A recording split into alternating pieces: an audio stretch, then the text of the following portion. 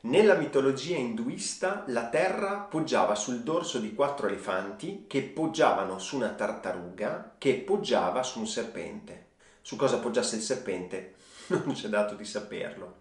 E oggi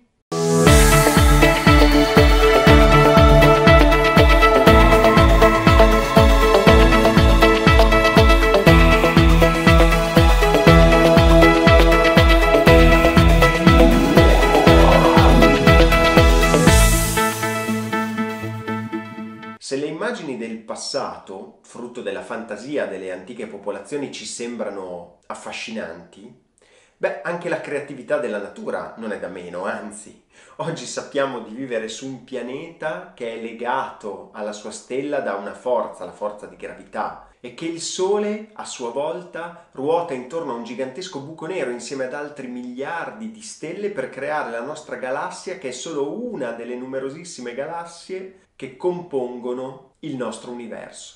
Che cosa ci sia oltre il nostro universo non è dato di saperlo esattamente come il serpente. Questa riflessione però, oltre che ricordarci che c'è ancora molto, moltissimo da scoprire, che siamo solo agli inizi e che il futuro ci riserverà scoperte meravigliose, ci permette due considerazioni fondamentali.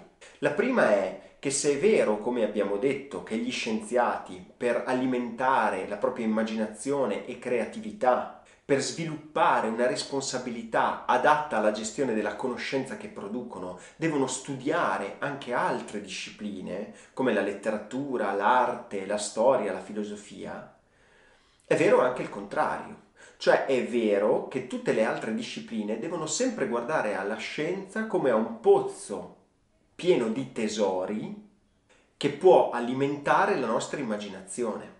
Perché la fantasia e la creatività della natura sono molto superiori a quelle dell'essere umano. Non saremmo mai riusciti a immaginare quello che abbiamo scoperto e continuiamo a scoprire grazie al sapere scientifico. La seconda considerazione, non meno importante, è che alla base della conoscenza scientifica c'è sempre la meraviglia della scoperta.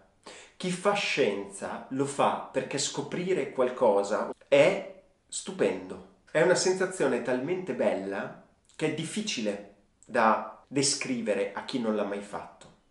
E questo però è un aspetto fondamentale che dobbiamo spiegare alle nuove generazioni quando parliamo di scienza. Dobbiamo spiegarlo in un mondo in cui invece paradossalmente si insiste molto sull'applicazione tecnologica e troppo poco sul valore della scoperta in sé. Ci avete fatto caso che quando eh, si parla di una nuova scoperta su un giornale, su una rivista, eh, si fa riferimento subito all'applicazione tecnologica che ne deriva, al fatto che ci permetterà di eh, ottenere qualcosa che non avevamo. La tecnologia è fondamentale, certo, ma non è l'unico aspetto del sapere scientifico. Anzi, se riduciamo la scienza a produzione di applicazioni tecnologiche, soffocheremo il fascino l'eleganza e il senso più profondo di questa forma di conoscenza. John Herschel, che è stato un grande matematico, fisico, geologo, astronomo, pioniere della fotografia, inventore di telescopi, scriveva nelle sue opere che la contemplazione della verità genera essa stessa la più pura delle felicità e di conseguenza l'esercizio della più elevata benevolenza e moralità.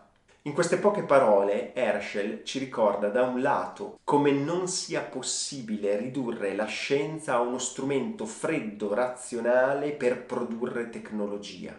La scienza è fatta di creatività, immaginazione, bellezza, passione, esattamente come tutte le altre forme di arte o di conoscenza che l'essere umano ha creato fino ad ora. Ma Herschel sottolinea anche un altro aspetto importante, e cioè che bellezza e felicità non sono solo questioni personali o estetiche, ma generano rettitudine, fanno diventare persone migliori.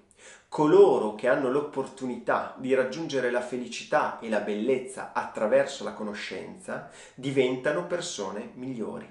La meraviglia produce passione che a sua volta genera dedizione e impegno. Raccontiamo la meraviglia della scoperta alle nuove generazioni e ci assicureremo un futuro decisamente migliore.